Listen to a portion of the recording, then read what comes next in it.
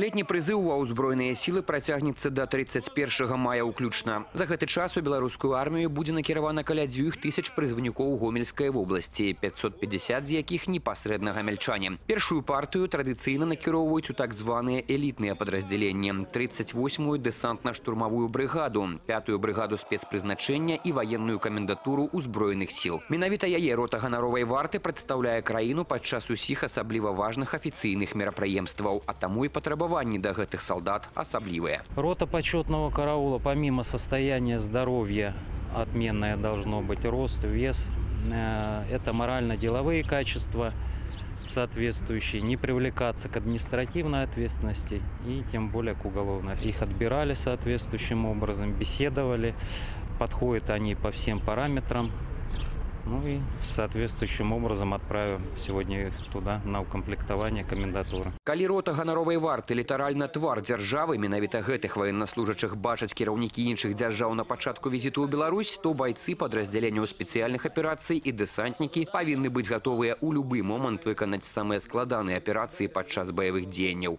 Ніхто не ўтойвае, будзе няпроста, але калі ёсць сіла волі і стараннасць, усё атрымаецца. І яшчэ адзін наказ, які прызыўнікам раюць памятаць абавязкова. Армія моцная салдацкай дружбай. Праз паўтара года яны павінны вярнуцца дадому уже зусім іншымі людзьмі. Десант это престижно, вполне элитные войска и возвращаешься домой, голубой берет, доволен собой, гордый такой, что не просто где-то зря полтора года, может быть, потратил, а реально с пользой их провел. И за эти полтора года из тебя на самом деле мужчину сделают. 16 мая з абласнога зборнага пункта будуць адпраўляць будучых пагранічнікаў. Апошняя адпраўка напрыканцы месяца ў транспартныя часці. Олег Сюнцюроў, Сергей Нігерэвіч, Яўген Макеенка, тэлерадыёкампанія Гомель.